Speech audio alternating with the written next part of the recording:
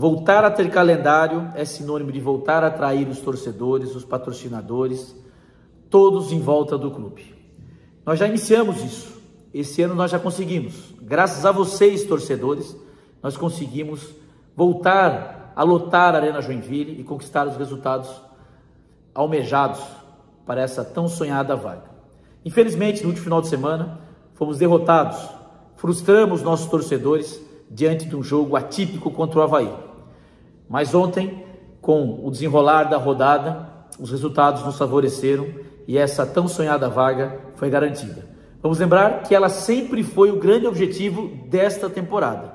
A partir de agora, o Joinville passa a planejar todo o seu futebol e a sua instituição por pelo menos 18 meses, de maneira alongada, podendo buscar patrocinadores, voltar a atrair os seus sócios, e também atrair atletas que vão querer ter um calendário cheio e voltar a disputar as competições nacionais pelo Joinville Esporte Clube. Então é um grande alívio. O Joinville volta a ter calendário, é o início da retomada de um lugar que o Joinville nunca deveria ter saído, as maiores divisões do futebol nacional.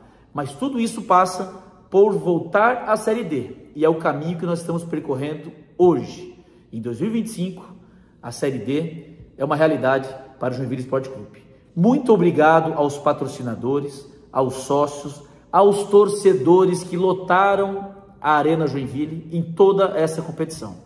O Joinville Esporte Clube não é nada sem vocês. Estamos juntos.